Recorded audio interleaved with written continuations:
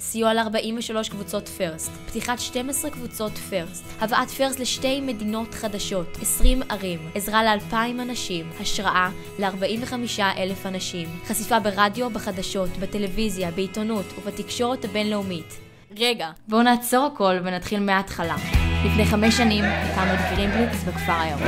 מהרגע הראשון היה חשוב לנו לתרום לקהילה. למרות המשאבים המועטים, כבר בשנה הראשונה הפעלנו פעילויות טכנולוגיות פשוטות הפעילויות גדלו וסחפו הכרה ותמיכה של ארגונים וספונסרים רבים. הבנו שיש לנו ביד את הנוסחה להפיץ את ערכי הסטם באמצעות פרסט, מודל גרינסטארט. מודל גרינסטארט מכווין קבוצות פרסט חדשות להתחיל את דרכן. על פי המודל, הקבוצה החדשה תתחיל בתמיכה בקהילה שלה באמצעות פרויקטים הדורשים מעט משאבים. ברגע שהקבוצה מוכיחה את עצמה בשטח, היא תוכל לקדם את עצמה ולזכות בהכרה ומימון מסביבתה. בעתיד, הקבוצה החדשה תשתמש במודל GreenStart על מנת להקים קבוצות חדשות שיפעלו על פי אותו המודל.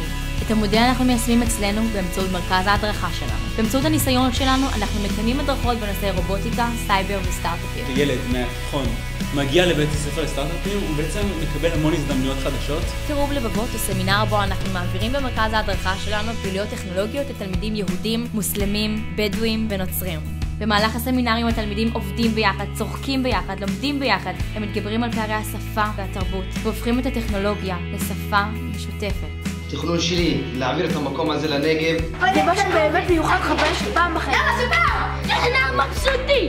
חברנו לפרויקט עיר בשינוי בשכונת יוספטל בפתח תקווה. יזמנו והקמנו את קבוצת First Robotic Competition הראשונה בשכונה. החבר'ה האלה הגיעו אלינו כל שבוע, ולאט לאט הם הפכו להיות קבוצה. ואת כל זה הם קיבלו כאן, וזה מה שהביא אותם כל כך רחוק. I think everyone should be really excited about the Green Blitz project to take FRC to Vietnam.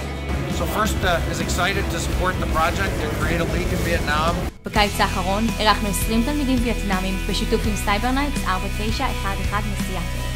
Green Bliss is the founder of the program in Vietnam. Um, helped us understand better how to work internationally. בעזרת המודל, הקבוצה השיגה את התמיכה המלאה של אוניברסיטת מקווירי מאוסטרליה. הקבוצה הולכת להתחרות בסידני. חברנו שוב ל-4911 והצטרפנו לפרויקט של הקבוצה להקמת קבוצת FIRST Tech Challenge באוגנדה. באמצע פברואר, קבוצת CyberKnights אוגנדה הגיעה אלינו למרכז ההדרכה והכשרנו אותם לקראת התחרות הבאה.